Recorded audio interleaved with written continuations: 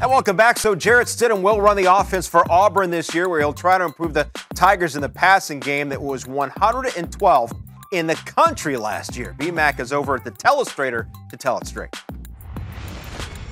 Thank you, Ray. No question the Auburn fans should be excited hearing that Jarrett Stidham will be their starting quarterback, and I'm going to show you why.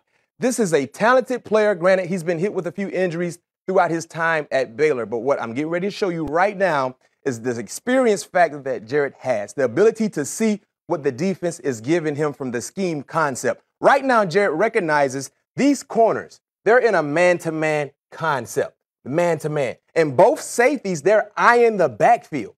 So right now, these guys are on the edge alone. And he understands and he sees the favorable matchup in his favor. And what he has going on, basically what they run in Auburn, the same kind, kind of offensive scheme they ran at Baylor is a play action concept. So right now, he understands, like I said, this wide receiver you currently don't see right now in corner, they're by themselves because the play action brought up both safeties. They're attacking. Now, this safety is sitting back because this wide receiver is, is still. But when you look at the wide side of the football field, there is so much grass to work with. And look at Jarrett Stidham. Look at his body. Look at his position. Look where he's looking down the football field. He sees the opportunity and he's going to attack the favorable matchup.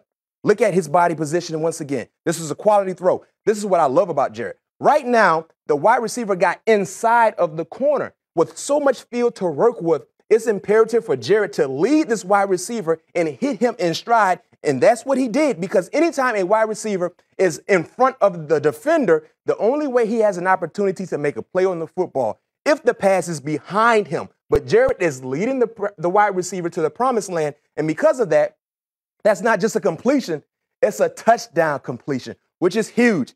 Auburn, they've been looking for this op- for this type of production from the quarterback standpoint. Now, different angle, end zone angle. You get a clear view to see exactly what the play action did to the defenders. This safety is coming up. Remember, there's a wide receiver outside with a corner. Jarrett is going through the play action motion, but yet still look at his head. His head is down the football field, and he recognizes and sees the safety He's being drawn up because of the play action, and he understands instantly where he needs to go with the football. There's no need to go through his progressions because look at him.